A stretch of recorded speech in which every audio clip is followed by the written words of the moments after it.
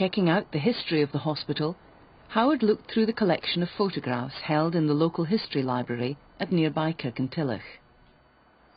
There are scarcely any pictures of the hospital and its daily life in the collection, probably because taking photographs was regarded as a breach of confidentiality. One exception was the hospital's football team. The one picture uh, we do have in the archives here giving any idea of the, the life of the, the staff and the patients is this one of the, the football team, um, the Lennox Castle 11, who met the Celtic A team in February 1937 to open the football pitch there. Uh, in the, the lighter coloured jerseys, we have the, the Celtic team, and the, the darker jerseys, the Lennox Castle team. And we can also see the the male attendants in their uniform and cap and moustache here, and um, Dr. Chislett and his assistant Dr. Curran, and also some of the the patient supporters in the background. Dr. Chislett, for example, he, he was a, the big shot, you know, and he, I, I think he looked into places as he stayed. I mean, he was very, very strict and very fair, he thought. But when I think back on it, he heard there was a male nurse started, it was a landscape gardener. So right away he got him to do his garden. And 85 mm. and two patients. I mean, and that was all for free. Mm. And his wife used to get into the wall garden, walk in with her oval, her oval basket and cut all the flowers and everything else she wanted. Mm. He thought it was it belonged to them. Mm. He's God Almighty. James Lappin still lives at Lennox Castle. He comes from Shettleston in Glasgow. He first became a patient in 1925 at the age of 15, transferring to Lennox Castle in 1938. Can you remember the day that you went into hospital? Aye. What, what happened then? Well, see, uh, a, a man came to, to lift me that my father said that he would take me on the Saturday. I was supposed to go on the Friday to, to Albert, and the, father said that he would take me on the Saturday. Right. So did you know beforehand that you were going? No, I didn't know. I, I, I, thought, I thought it was a day out. what?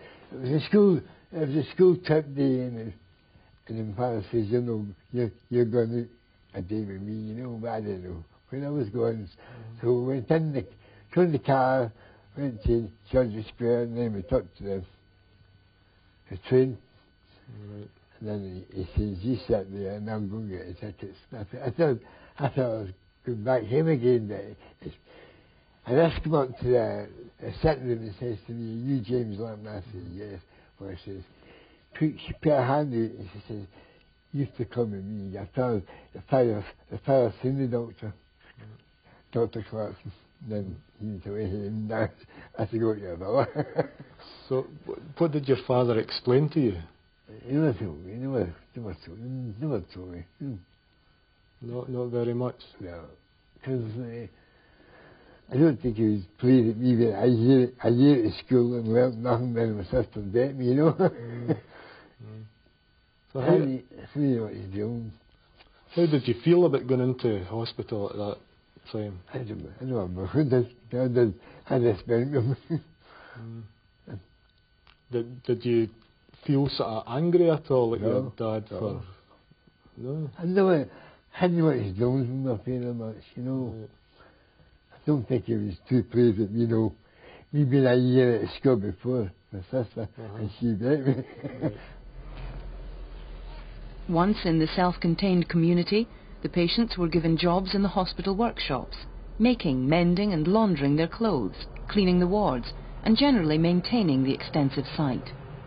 What kind of regime was it for them? Was it uh, fairly hard, would you say? They seemed to accept the fact this was their job, you know, what mm. they had to do in the ward, for example. That was their job. Sometimes it, you could say, if you don't do it right, I'll put somebody else on. That was enough, you know, they wanted mm. to keep their job. Right. But uh, I never said anything about remuneration, you know. Mm. I thought it was a disgrace. They used to get 10 woodbine. Per? per person. Per, Per week. Per Per week. week. Uh huh. That was their. Four pence. eh? Mm. Them that worked in the shops, get, they get double. Mm. What happened if they didn't smoke? I, I never thought that. there, Did- there there was no alternative. Mm. I think they sold them. Mm. food stuff and bring Howard talked to Margaret Scally, who came to Lennox Castle at 16 in 1968, though for the last six years she's been living back in Glasgow. She came back to the hospital to talk to Howard about her version of life in Lennox Castle. And what what did you do after breakfast? We used to go to a jo- our work. I used to work in the cooperatives. Uh, and what did you do there? I used to answer phones and deliver letters to the wards. Right. So that that was that was quite a responsible job. hmm I loved that job because I used to work with June Tree and Morris here. What about um, what other kinds of work? Did you ever work anywhere else? I else? worked in OT. I worked in the gardens. That's about the three jobs I worked. Mhm. What would your wages be when you first started?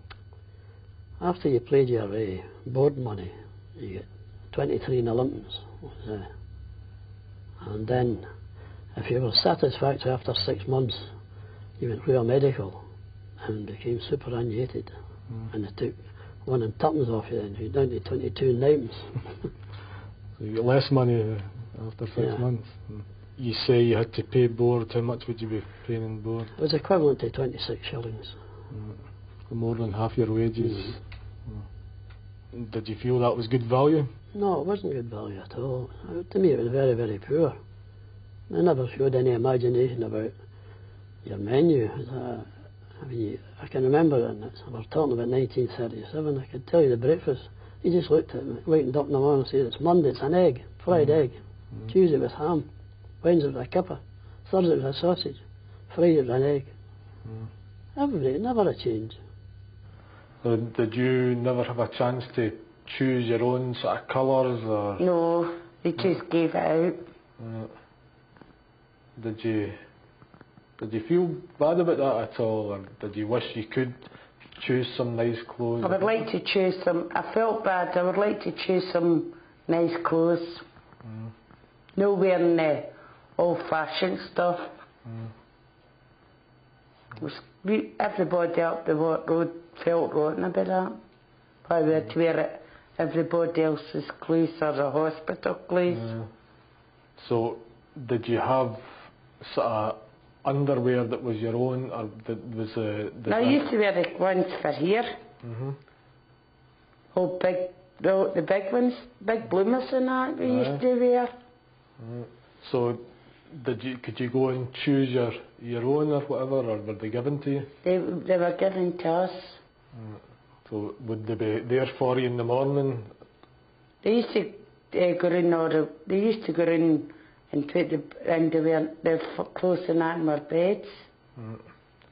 And would that just be anybody's at all in the ward? Empty was them.